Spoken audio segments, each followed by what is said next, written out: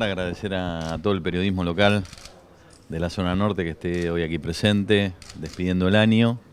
Eh, queríamos agradecerle el acompañamiento que nos brindan siempre eh, para mostrar los hechos de gestión. Realmente para nosotros es muy importante el trabajo que hace la prensa local.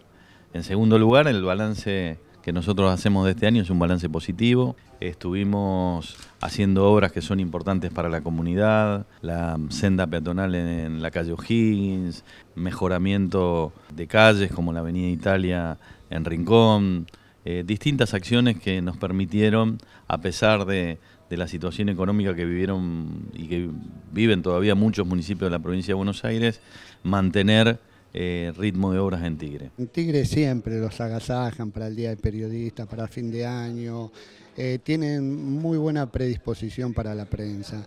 Es un municipio que a la prensa la hace sentir cómoda y eso es bueno para trabajar porque vos te sentís libre en el trabajo. Tigre afortunadamente tiene esa virtud de considerar en estas fechas de, encuentro, como puede ser fin de año o el Día del Periodista para el gremio.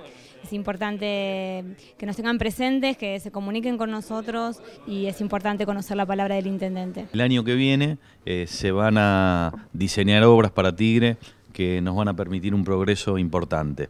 En primer lugar, eh, señalar una de las cuestiones que más preocupan a los vecinos de Tigre, que es que se termine definitivamente la obra de cloacas y agua corriente, con obras que ya se están haciendo de agua, por ejemplo, en La Mascota y de, y de cloacas en, tres puntos del partido de Tigre, un centro de ciencias a través de la, del Ministerio de Ciencia y Tecnología en el distrito que nosotros denominamos Tigre Sur, distintos túneles, tres escuelas secundarias con fondos municipales en Rincón, en Benavides y en Troncos.